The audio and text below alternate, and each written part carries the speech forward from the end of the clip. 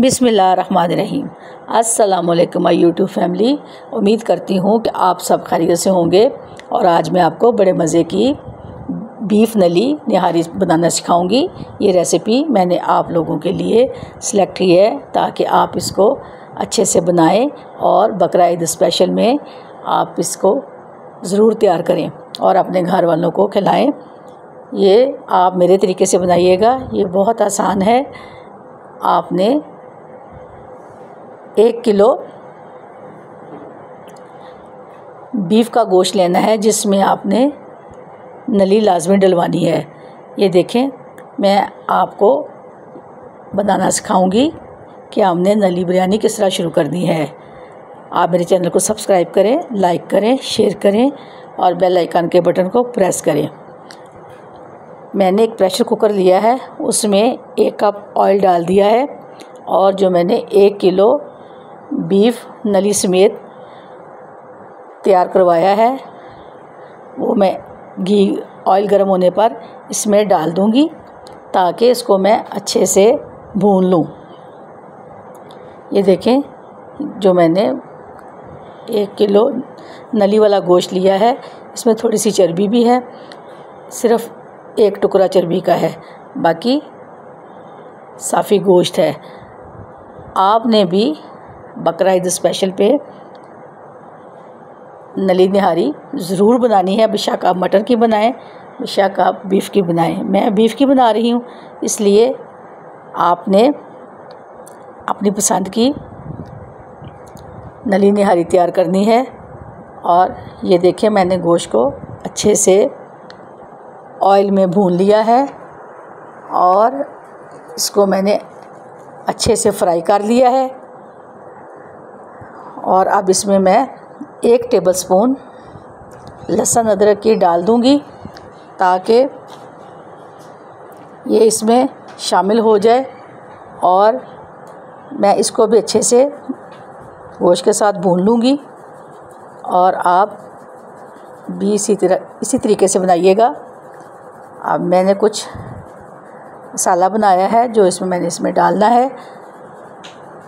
ये नली निहारी का होममेड मसाला है जो मैंने घर बनाया है। इसमें आपने एक चम्मच सुरख मिर्च, एक चम्मच हल्दी, एक चम्मच सूखा पिसा धनिया, ये तमाम टीस्पून लेने हैं आपने। और जायफल जवित्री, मोटा धनिया, सूखी मेथी, सौंठ, एक टीस्पून चाट मसाला और जायफल जवित्री, हाफ़ टी स्पून ये सब चीज़ें आपने ब्लेंडर में तैयार करके पीस के इसका होममेड मसाला बना लेना है। और मैंने एक कप घर का आटा लिया है, उसको मैंने अच्छे से भून लिया है और इसमें मैंने तीन चम्मच मसाले में डाल के इनको भी साथ में मिक्स कर दिया है, जो कि हमें पकाने के दौरान ज़रूरत होगी। अब जो मैंने आपको मसाला बताया और तीन चम्मच इसमें मैंने आटे के भुने हुए आटे के डाल दिए हैं और एक टीस्पून आपने चाट मसाला भी डालना है। और अब ये तमाम मसाले जो मैंने तैयार कर दिए हैं, ये मैंने हांडी में डाल दिए हैं। अब इसको मैं थोड़ी देर के लिए भून लूँगी ताकि ये मसाले इसमें अच्छे से मिक्स हो जाएँ। अब आपने इसको भूनने के बाद एक बड़ा जग पानी का लगा देना है और फिर इसको हम थोड़ी देर के लिए प्रेशर में पकाएँगे ताकि गोश्त हमारा अच्छे से गल जाए और नरम हो जाए ताकि जब हम बीफ नली निहारी को इस्तेमाल करें तो उसमें ये तमाम चीज़ें नरम और खुश ज़ायका हो जाएँ। अब ये देखें, मैंने एक जग पानी का डाल दिया है और मैं प्रेशर कुकर पंद्रह बीस मिनट के लिए लगा दूँगी ताकि इसमें गोश्त अच्छे से गल जाए। अब ये प्रेशर कुकर पंद्रह बीस मिनट के लिए लगा दूँगी और इसको लगाने के बाद, बीस मिनट के बाद मैं इसको प्रेशर कुकर कुकर को उतार लूँगी और इसका ढकना उतार के चेक करूँगी कि ये हमारा नली ब्रे नली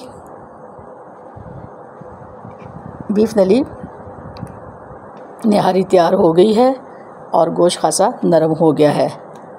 आपने भी इसको अच्छे से चेक कर लेना है, फिर मैं एक साफ़ बर्तन लूँगी, उसमें half tea half cup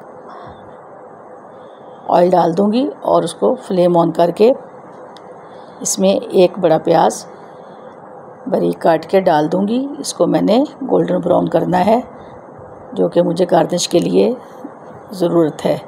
अब मैं इसको अच्छे से ऑयल में गोल्डन ब्राउन करूँगी और फिर मैं आपको अगला स्टेप बताऊँगी। जो बच्चियाँ नया सीख रही हैं वो इसको अच्छे से नोट डाउन कर लें और मेरे तरीके से बनाएँ। मैंने आपको बताया था कि मैंने एक कप ऑयल आटा लिया है और उसको मैंने अच्छे से भून लिया है। तीन चम्मच मैंने मसाले में डाल दिए थे, जो बाकी आटा बच गया है, उसको मैंने गाढ़ा सा कर लेना है पानी के साथ, क्योंकि ये मुझे हांडी में डालना है और इससे नली निहारी बहुत खुश जायका बनती है। जब हम आटा भून के डालते हैं तो ये बहुत मज़े की नली निहारी तैयार होती है। आप ये देखें, मैं इसको अच्छे से मिक्स कर रही हूँ ताकि इसमें कोई गुटली या लम्स ना रह जाए और हम इसको आसानी से बीफ नली निहारी में डाल दें। अब ये मैंने इसको अच्छे से मिक्स कर लिया है और मैं अब इसको हांडी में डाल दूँगी ताकि हमारा शोरबा गाढ़ा हो जाए और खुश जायका हो जाए। और जो मैंने इसमें से ऑयल उतारना है, जो इसको तरी भी कहते हैं, वो मैं कप में डाल दूँगी। और ये भी मुझे गार्निश के लिए ऑयल चाहिए, क्योंकि जब हम आटा डाल देंगे तो इस तो ऑयल जल्दी ऊपर नहीं आता, इसलिए मैं इस ऑयल को पहले ही निकाल लूँगी ताकि मुझे गार्निश में ये काम आए। और मैं इसको लास्ट में डोंगे के ऊपर डाल दूँगी। ये देखिए, मैं आहिस्ता आहिस्ता जो तरी है, उसको निकाल रही हूँ और मुझे ये आखिर में डोंगे पे डालना है। अब जो मैं, मैंने आटा तैयार किया है, वो भी मैं इसी में डाल दूँगी ताकि ये गाढ़ी सी, शोरबे में गाढ़ापन आ जाए और हमारी बीफ नली निहारी बहुत अच्छी से तैयार हो। और अच्छे से तैयार हो और जब हम भुना हुआ आटा डालते हैं तो फिर शोरबे में कच्चा पानी नहीं रहता। वो मज़ीद जायके को बढ़ाता है भुना हुआ आटा। उससे ये शोरबा गाढ़ा भी हो जाता है और सालन में बहुत ज़्यादा लज्जत भी आ जाती है, जो खाते वक्त हमें बहुत अच्छी लगती है।